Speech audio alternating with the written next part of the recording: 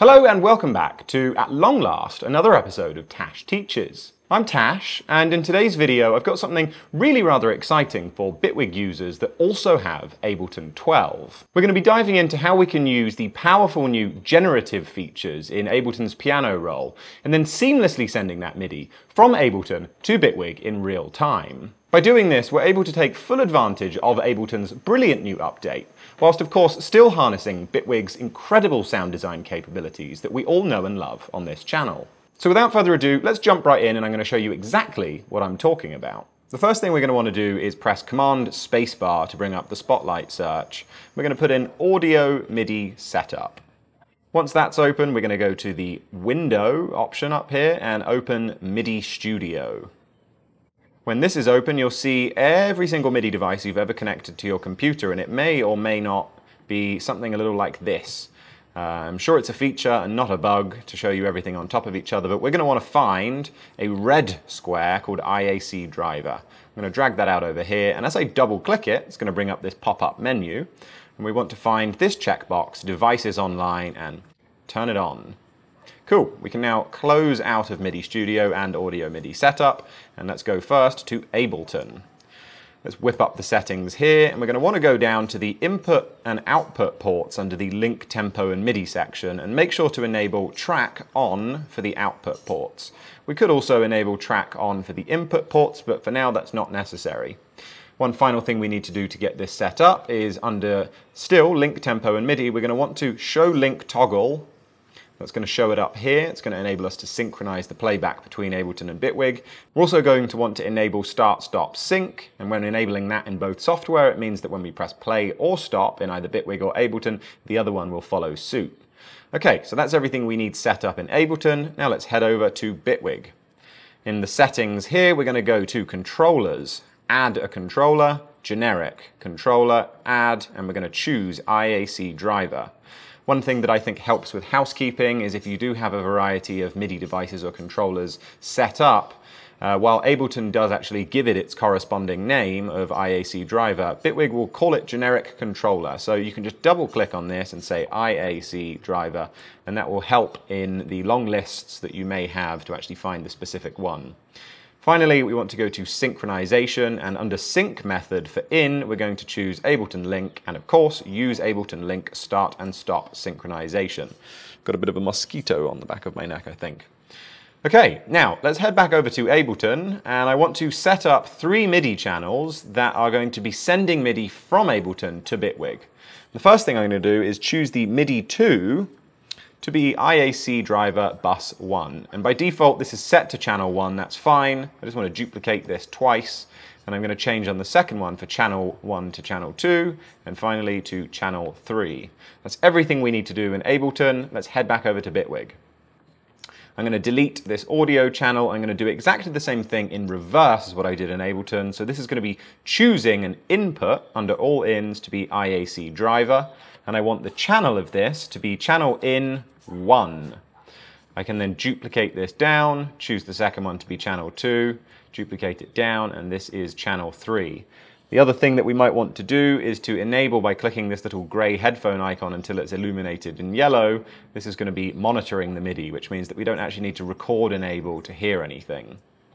Now I want to load up on this first channel a drum machine and I'm going to put a little kick in here. Let's just pick something. Might have to put my headphones on now. Okay, I'm to load up a kick. Then I'm also going to load up on D1 some sort of tom sound. Let's pick an 808 tom. And let's find some sort of hat. And then let's find one more hat for F sharp 1. Okay, we'll take that.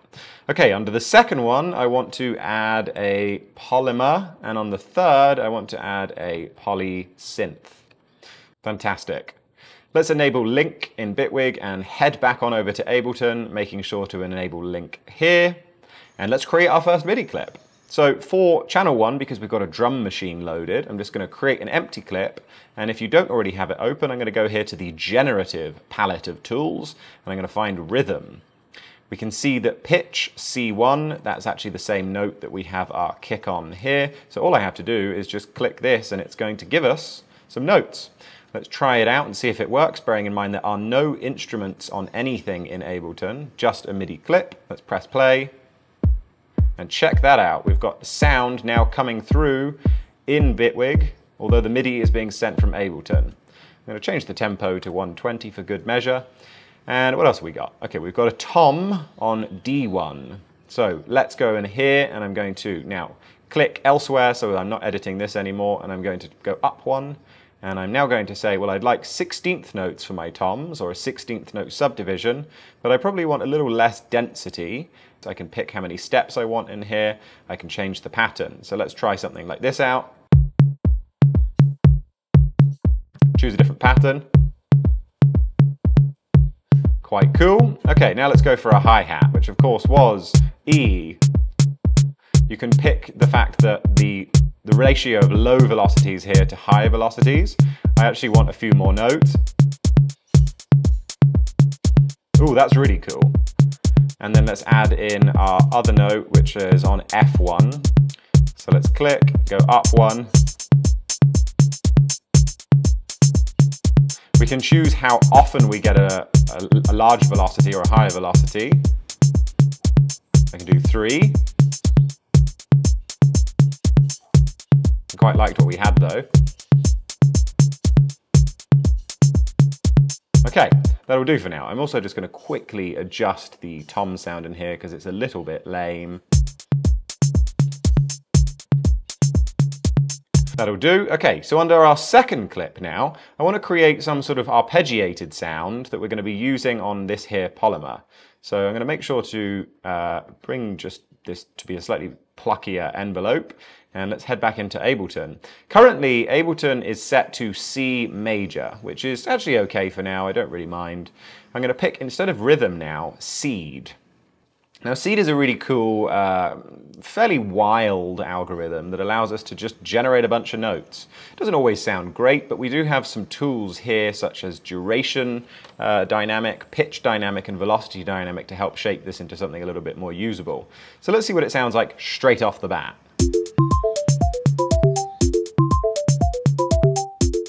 Not great. So why don't we say, okay, well, I don't really want that many uh, high notes. So I can actually say, well, let's make it so that the highest note is actually just a C4. There we have a ratio or a, uh, notes from C3 to C4. I've actually got to make sure that I highlight all of them because otherwise it's going to generate on top of it. Now we have C3 to C4. I can choose that in fact the shortest note I'd like to have is just a 16th note. Maybe I want to have some lower velocity notes, which is going to come in quite handy when we start mapping things in Bitwig. I also have the option for voices. Maybe I want only one note at a time. With less voices, we can increase the density. Quite nice. And of course, if we want an entirely new pattern, we can just click this to regenerate. I quite like having maybe two or three voices at times. And if we like a section but we don't like another part, maybe we don't like this, you can just highlight the notes and then just generate again for that bit. You can make it more dense with more voices, with a higher ratio of notes, which can be really cool. And of course we could duplicate this and then adjust just these notes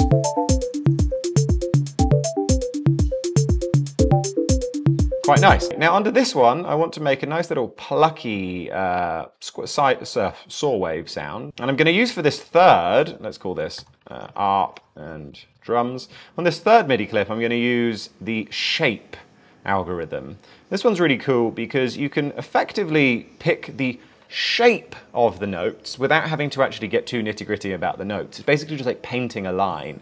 So if I just do a little squiggle here, you'll see that this collection of notes is reflected on the scale that we're in. So if I were to just press play now, this is now sending that through, and whatever I adjust to it, and of course, this is just pure 16th notes. If we wanted to actually uh, change the fact that sometimes we have 16th notes, sometimes we have 8th notes, we have the option to tie them. And it ties them in a rather interesting fashion at times. So let's see what this sounds like. Quite cool. Also, I'd probably like to bring the notes down a bit. So let's make it so that the lowest note is a C1, and we'll go to C, C2 maybe, just to keep that range nice and tight. Maybe we'll even go to say G2. And uh, this is going to give us a bit more of a bassy sound. I'm also going to make sure the polysynth is in mono.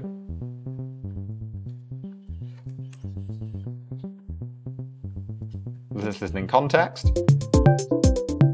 Probably want to bring this down.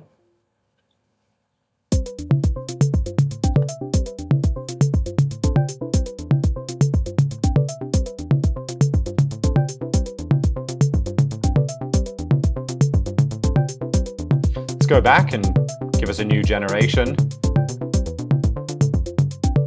Can do jitter, just to adjust a bit, make it a bit weirder. Add a bit more tie.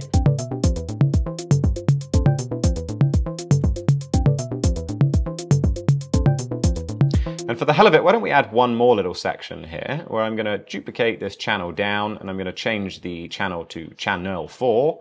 And let's make one more in here. It's as easy as just adding one to the number.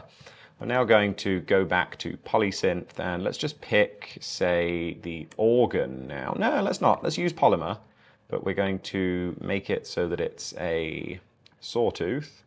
And we're going to get rid of the envelope for now, and maybe we'll make it a little bit out of sync. Maybe we'll even increase the voice stacking and I'm gonna add the voice spread. We'll do minus one to one and just do a little bit more pitch change. And maybe we'll also pan it a bit crazier. So let's see what this sounds like if we were to now try and add some chords using the stacks algorithm. So by default, if I were to just click this, it's going to add a C major for us. And we can see that this first chord is that. And as we start to increase these up, we can increase the complexity. This is now a C major 7. And I can adjust the inversions. And I can also adjust the root. So it's just going to skip us down through the, the different possible chords. So let's just press play.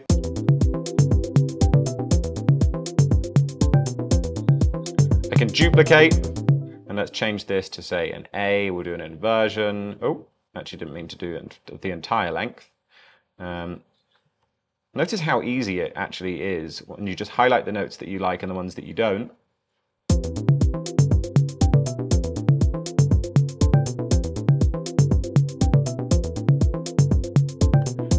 Nice.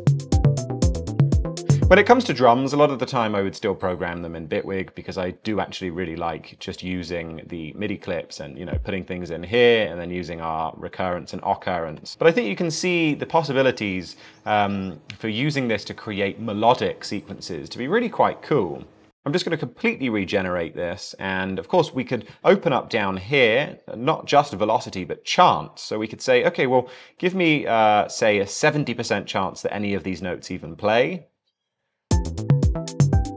Or we could easily just click randomize, and that's gonna give us a different random amount of chance per note. I'm actually gonna mute these drums because they're irritating me a bit. Let's just keep the kick in.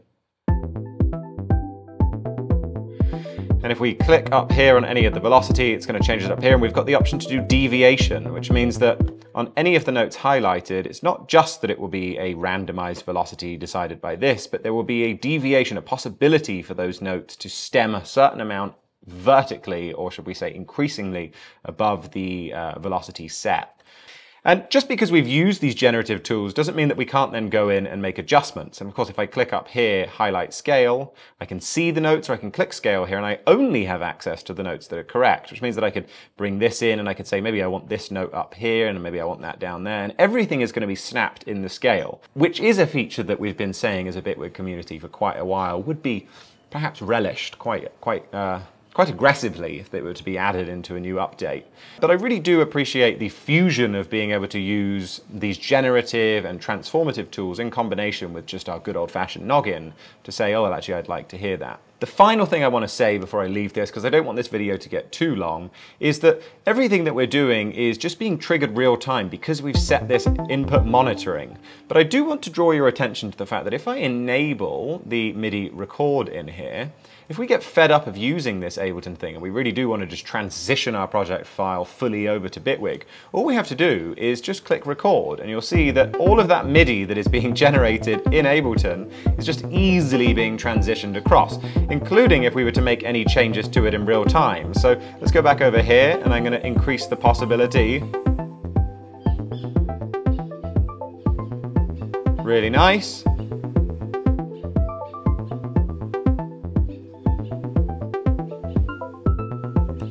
You can see that all of those notes have then been actually baked into our Bitwig clip. One other cool new thing that I think I'd love to make a brief video on if you found this at all interesting is using Logic's new AI session musicians, which is a pretty lame feature in Logic. I did just purchase Logic specific to play around with it, but I had a lot of fun actually using it in combination with Ableton and sending all of that shit into Bitwig to trigger instruments. So let me know in the comments down below if you'd be interested to see more uses of sending MIDI throughout the different DAWs and harnessing the powers of all of them. Well folks, that's sadly all we have time for today, but I do hope that this video was useful.